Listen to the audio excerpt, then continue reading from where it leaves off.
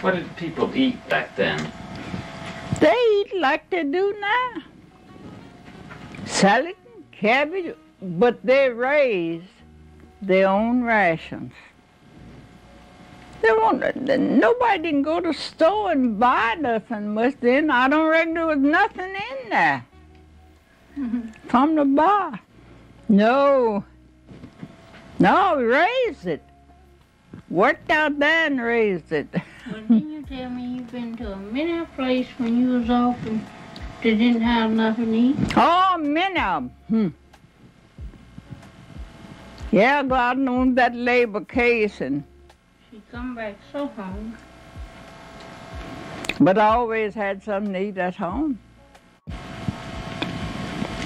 You live with every one of your grandchildren. Yeah, I live with every one of 'em.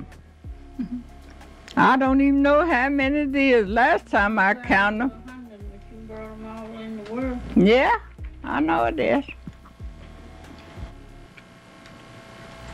What did you tell the women about eating after they had the baby?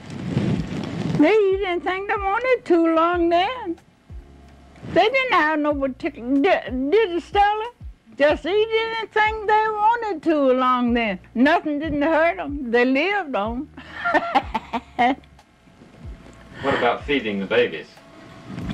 Feed them on the milk, you know. All of them was breastfed long. Yeah, all of them was. You fed them from that breast. Along then, no, there were no bottle babies. Hmm.